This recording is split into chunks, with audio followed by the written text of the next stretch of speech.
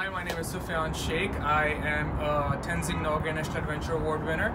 Uh, the award is given by the President of India uh, to only one individual each year who has done exceptionally well in the field of water adventure.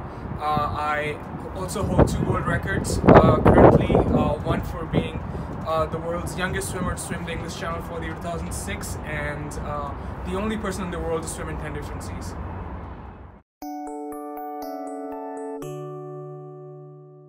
Um, so I was introduced to swimming uh, quite early in my life. My mom, unfortunately, she wasn't able to swim when she was growing up, so she always had a wish that, regardless if she has a son or a daughter, uh, she would like them to swim. So I was introduced to the sports through my mom, and uh, from that point, I was really no looking back.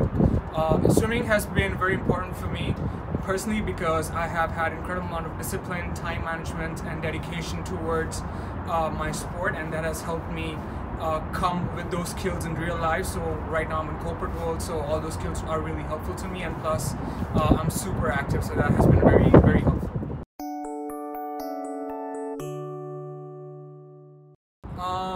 My only advice to parents would be to understand what your kid really wants to achieve in their life. Uh, what happens when kids are growing up is they don't necessarily have an idea of who they want to be, what career they want to, they want to pick. Uh, so rather than telling them what you would want your child to be, ask them what they would really want to be in their lives. I feel this approach would help uh, you achieve, I guess, success with your kids in terms of what they want to achieve in their life and you know their overall goals for their lives. Hi, I'm Sufyan Shaikh and uh, I am the one.